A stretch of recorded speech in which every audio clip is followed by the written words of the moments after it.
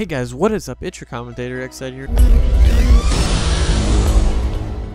First off, guys, you know, I first started off YouTube doing commentaries, and that was like, or that's what I wanted to be. I, you know, always seeing these big YouTubers like uh, White Boy Seven Street and like Only Use Me Blade. He had really good commentaries. You know, I really enjoyed watching their videos. You know, always like, wow, man, I want to be like that one day. I want to have people sit there for four, ten minutes listening to a really good commentary.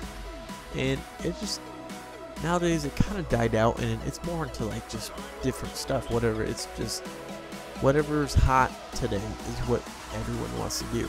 And I've noticed that. You know, I've changed my YouTube. I've altered to what other people were.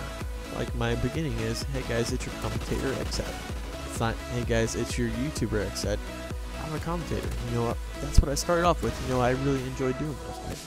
I, I for reasons I don't know. Like I, when I first started off, I didn't like it. Like, it wasn't. It felt awkward. And now it's like, it's like I'm preaching. Like I see myself like you're sitting in a church, and you're like the preacher. You know, you're talking to everyone. They're listening to you because you know you're the preacher, everyone listens. You know. And that's how I feel when I make videos. I have like I feel like you guys listen to my you know my commentaries when I have my ideas and you know it feels good that I get some feedback on my videos and I kind of stopped making YouTube videos or that were commentaries and it was it's for reasons because people liked other kind of videos you know and I understand that but I just noticed that I got to the point where I wasn't doing commentaries anymore and I think I stopped because I wasn't getting enough attention on my commentaries. Like people, I have YouTube like analysts, so I could I could see like how long people watch my videos. It's about two minutes, you know.